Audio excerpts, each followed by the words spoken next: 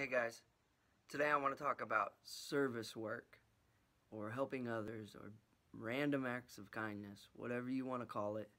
Uh, there's a power that you can tap into here that will produce long-term results in your life and freedom from addiction.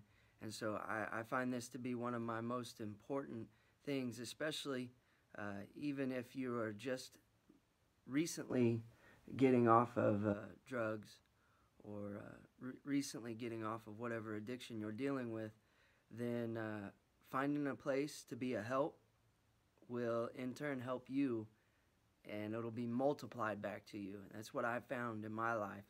And it's actually a, a biblical principle. Jesus said, He who wants to be greatest in the kingdom shall first be servant. And so when you start to serve others, then God can come in and do outstanding, amazing, big things that you could have never imagined yourself. And He'll start to bring other people into your life to help you. Uh, what I say is what you put in is what you get out. And, uh, you know, anybody, no matter what amount of clean time they have, can find somewhere to be a help.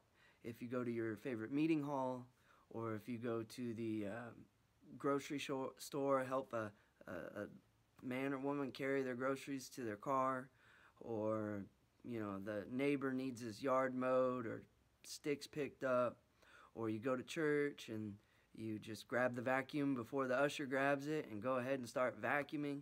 It doesn't have to be something big but it just has to be something to get yourself uh, your, yourself focused not on yourself. Does that make sense? To get your attention off of you and onto helping other people. And when you do that you're tapping into a a supernatural force that, that produces great, great dividends in your life. The principle of reaping and sowing is what it is. Uh, some people call it karma, but I believe in God, so I call it the biblical principle of reaping and sowing. What you sow is what you're going to reap. What you put in is what you're going to get back. If I plant tomato seeds, I'm expecting tomatoes, not watermelons. so you know, we don't plant tomatoes and expect to get cantaloupes or something else back. We plant expecting to see tomatoes. And the same principle works throughout all kinds of different areas in our lives, um, especially with spiritual principles. If you plant hatred or criticism or judgmentalism into other people's lives, you can expect to receive that back. And, and I have experienced that in my life. And I don't want that anymore. So now I'm planting seeds of love, help, service. And what do you know? That's coming back into my life. God will send people my way to help me when I need it. Uh, God will put people in my life, especially early on when I was getting free from addiction. Uh, that there's it was just supernatural the way people would show up to help me, and then that I would find jobs, and that uh, all the court cases the way they went, you know, there was no way I had enough money to pay lawyers, but somehow, but God helped me. And, and that's just the way he does it. Why? Because I was sowing good seed and he was making sure that I was taken care of. And so when we do service work, what we're doing is, is we're tapping into a, a, a way to love other people, a way to get out of ourselves. And when you tap into, because you can't do service without having at least a little bitty bitty bit of love for other people. Otherwise, you just wouldn't do it. You'd stay at home. And, uh, you know, even if you get there at the meeting and, and just make coffee beforehand, that's doing something for, for other people to make their life a little bit easier, no matter how minimal it is. And God will see that and reward you back. And be committed to those things that you do.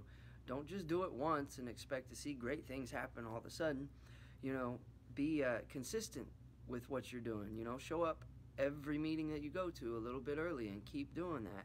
And that's, you know, inconsistency is where the power is. So I just want to encourage you find somewhere to do something good for other people. It's not that hard. There's always something you can do to get the attention off of yourself. Because as long as you're focused on yourself, you're just going to end up thinking about those same old things again and end up right in the same spot you were before.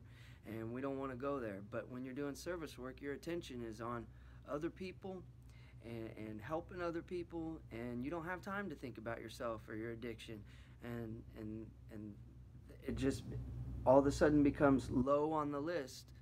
Uh, the the addiction all of a sudden becomes very low on your list of things you think about because you got all these other things going on that are so great, and that's. Uh, I hope I explained really well how that works. Um, all as I could say is I can't explain everything about it, but I do know that it does work when you go to help other people, when you go to uh, find a need and fill it, then, then God will keep you full. And so thank you, Jesus. Well, if anybody, if nobody's told you they love you today, I love you, and we'll see you on the next one.